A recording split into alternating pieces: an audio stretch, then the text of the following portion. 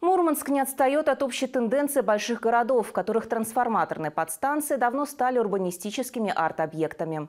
На улице Загородной молодые художники нанесли свой оригинальный рисунок с элементами античности, который удачно вписался в городское пространство.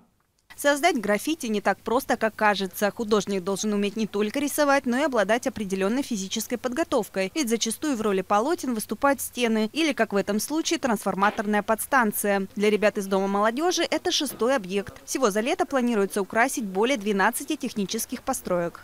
Хотелось э, просто-напросто обратить э, внимание наших земляков на то, какое количество талантливой молодежи в городе Мурманске живет и э, насколько действительно у них интересный взгляд на жизнь, на восприятие мира, а это все находит отражение в их картинах.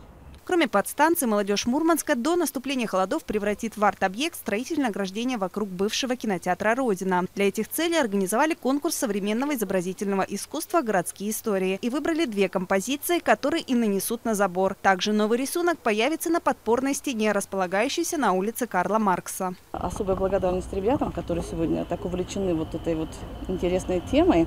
И действительно у них свои имеются работы, которые свои планы, э, которые они воплощают, и мы с вами все вместе, горожане, радуемся вот этому замечательному событию.